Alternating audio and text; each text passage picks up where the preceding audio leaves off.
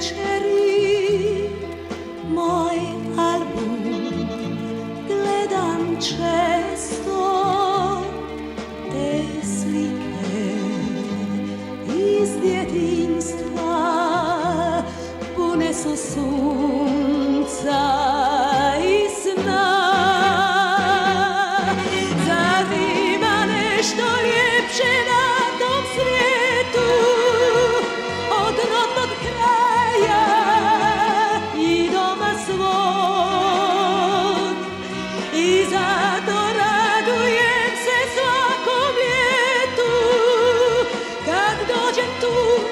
viajar.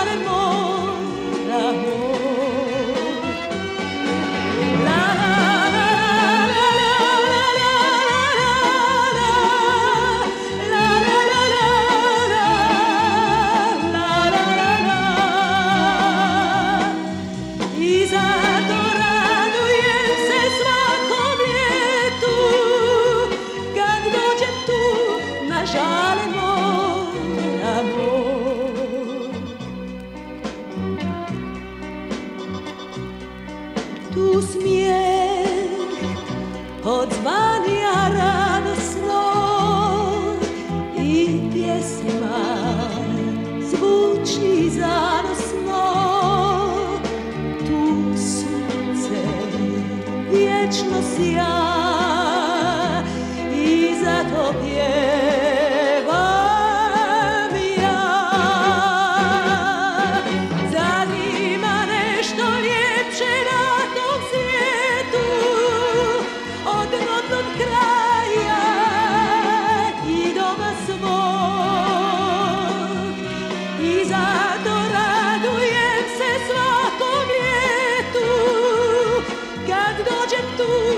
allá del mond amor. Sad ima nešto ljepše na tom svijetu od rodnog kraja i doma svog. I za